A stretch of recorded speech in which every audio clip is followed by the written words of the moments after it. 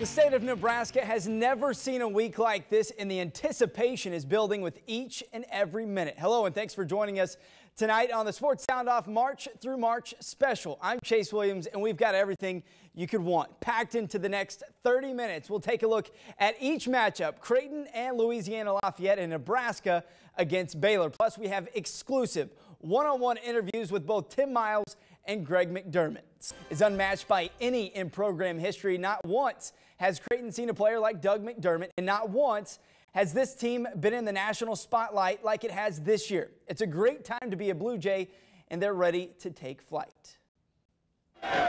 It's all about the Sweet 16 for Creighton, but they must take one step at a time. The first is Louisiana Lafayette. Our own Garrett Gordon joins us now to explain this won't be a cakewalk on the Riverwalk. Garrett, nope. is Ulala as tough a team despite being from a mid-major conference?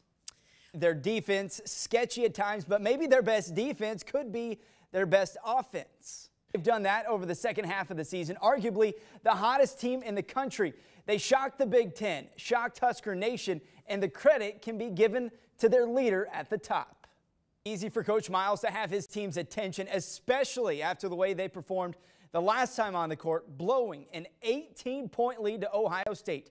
Garrett Gordon, I'm confident, won't blow it when it comes to breaking down the Huskers' next opponent in the Baylor Bears. Garrett? I'll try. Oh, uh, Terran Petteway surely will get his for Nebraska, but who's the guy that's laying in the weeds for the Huskers that can have an impact Friday against the Bears? They come. He's definitely not your average college coach, but it works for Tim Miles and it works for Nebraska.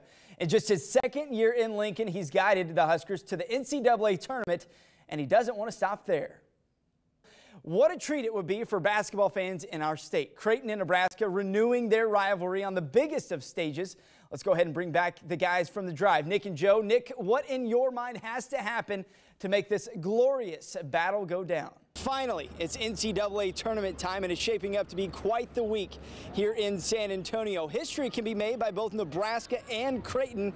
However, it's the group of Creighton seniors that are vowing to make a deep tournament run. Uh, the way they finished the season 10 and 2 in the Big Ten, they've got a shot, and uh, why not with Tim Miles on the sidelines? He's one of the best coaches in the country. Close for about five minutes.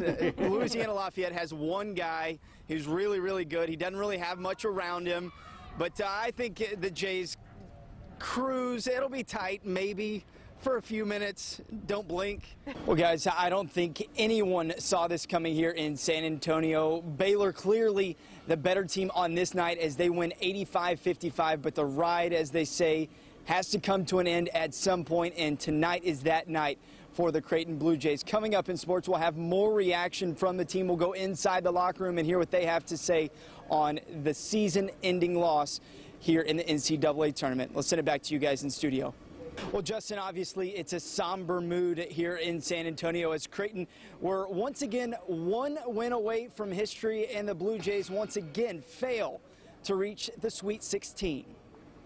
For the third year in a row, Creighton would find themselves in the exact same spot. The round of 32, one win away from making history one went away from the Sweet 16. Hello again from the AT&T Center in San Antonio.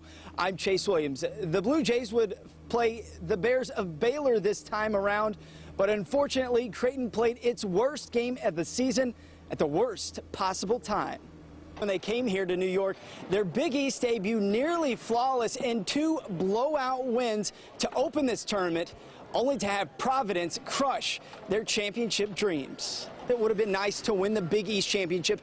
Obviously, they miss out on the regular season title. They miss out on the tournament title here, but their ultimate goal is to reach the Sweet 16 of the NCAA tournament, and that is still out there for the taking. We'll find out tomorrow what their seed is.